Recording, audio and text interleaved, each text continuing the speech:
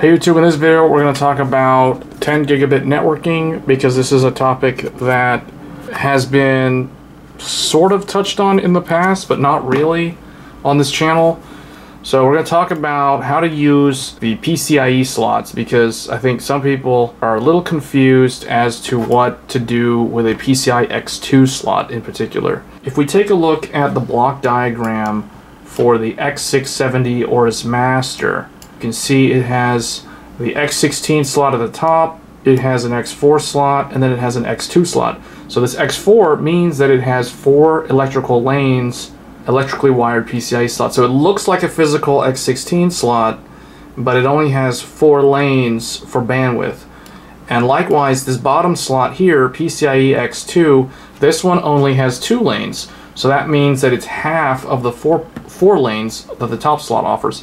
So typically the four slot here uh, is used with a Thunderbolt add-in card or a 4K 60 capture card, basically anything that's four lanes compatible. If we take a look at this Asus XG C100C, this is a 10 gigabit RJ45 interface card or a NIC. So this thing uses PCI 3.0 for lanes. But the thing is, uh, when these 10 gigabit cards first came out, they used to be PCIe Gen 2. So if you were going to run 10 gigabit networking as an add-in card like this, for example, you needed to have four lanes of PCIe 2.0. Now, if we go back to this motherboard from Gigabyte, so the X670E Aorus Master has a, on the chipset down here, you can see it has a 3.0 bus with a switch that allows PCIe two lanes or two additional SATA ports for a total of six SATA ports. So we're not concerned with those SATA ports. We're just going to ignore that for now. So let's let's just take this into account. So we got two lanes of 3.0 bandwidth. So the 3.0 with two lanes is roughly equal to four lanes of 2.0. So what that means is if we connect a four lane 10 gigabit network card like this Marvell Aquantia 107 chip from 2017. So it's kind of old. There's a newer one. We're going to talk about that in a moment. But this can get the full bandwidth for 10 gigabit LAN with just two lanes of Gen 3 as opposed to four lanes of Gen 2. You really only need two lanes of Gen 3 on a 3.0 enabled device. Now, if this network card was only 2.0, then we would need all four of the lanes, but because it supports 3.0, we only need two lanes. So in theory, if we plug this in to this two-way slot, we should be able to get a 10 gigabit LAN port working. In contrast to the X670 Aorus Master, what Gigabyte did with the Z790 Aorus Master is they went and they included a Marvell 10 gigabit LAN card. What we will find is that what Gigabyte did is they took a PCIe 3.0 bus and they're running two lanes of that 3.0 bus to a Marvell AQC 113C. So this is a newer 10 gigabit network card uh, compared to the one featured in that Asus add-in card, but it should serve the exact same purpose. So you can see this X2 indicates that it's two lanes of 3.0 bandwidth. So even the motherboard manufacturer only took two lanes from the chipset to enable this 10 gigabit network card.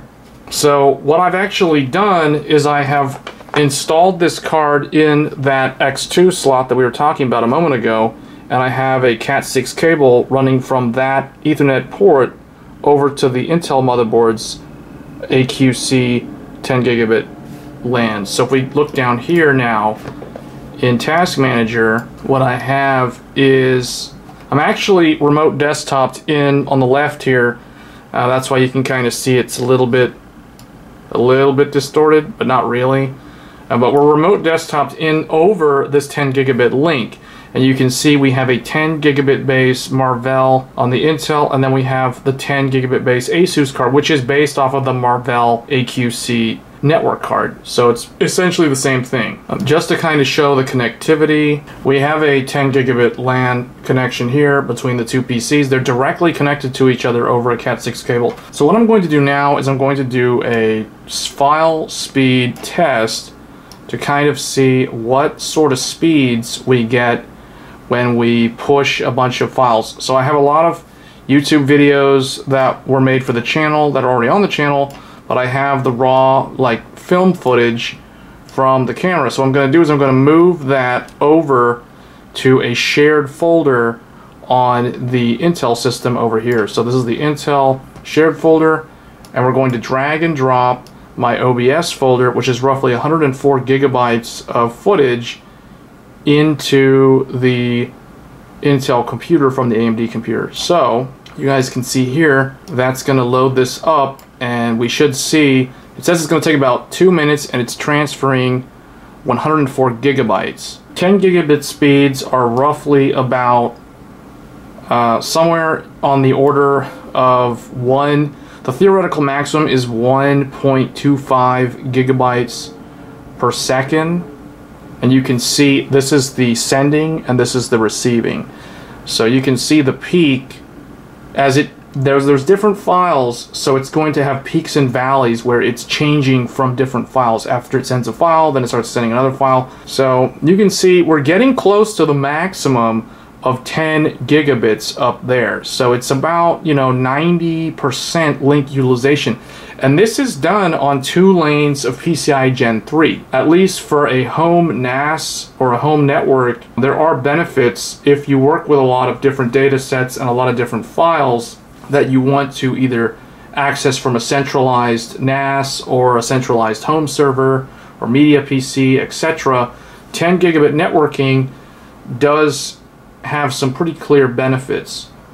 So this is kind of bursty because like I said earlier, the video files vary in size from like one gigabyte to four gigabytes uncompressed 4K, etc. for the channel. So that's kind of why you see these peaks and valleys as opposed to a direct transfer. Now what I'll do after this is I will try to transfer a single video from one of the live streams I did, which is about 1.6 gigabytes, and we're going to see how long it takes to transfer that file directly to the storage drive. But you can see this kind of shows that you don't need a four lane expansion slot provided you have PCI 3.0 two lanes. Okay, so that took about, what, two minutes? So now what I'm going to do is I'm going to drag and drop a 1.6 gigabyte of file into the Intel system from the AMD system again.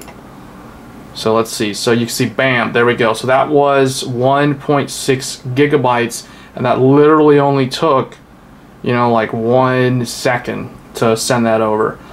So I hope you guys found this video useful. I just wanted to make this video just to kind of show people like how you can make use of a random, what appears to be a kind of pointless two-lane PCI Express slot that's 3.0. So it turns out it's actually a very nice free slot, open slot, that can be used for 10 gigabit uh, networking. I think that's an excellent use case for this. Maybe there will be some capture cards in the future that are PCI 3.0 4K capture cards. Also could do 60 frames per second on two lanes of Gen 3 because all of the AverMedia and the Elgato 4K cards that exist today are PCIe 2.0 four lanes. So if we go to 3.0, you only need two lanes. Once again, I hope you guys found this video useful. Let me know your thoughts in the comments below, and I will catch you guys in the next one.